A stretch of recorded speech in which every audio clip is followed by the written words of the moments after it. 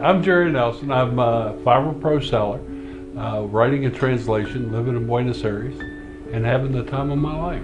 Covered a lot of stories over the years from uh, the climate change and the effects on Angkor Wat Temple in Cambodia.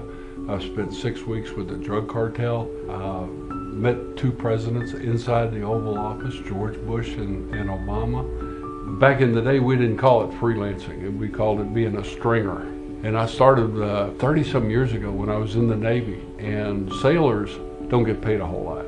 So I started stringing for local newspapers wherever I was stationed. And then as uh, the career moved on and I got better, I got bigger gigs and better paying gigs, and just kept progressing there. So the work that I really like to do is anything around social justice. The homeless, uh, housing, environment, anything dealing with social justice really uh, gets my juices flowing and I enjoy that.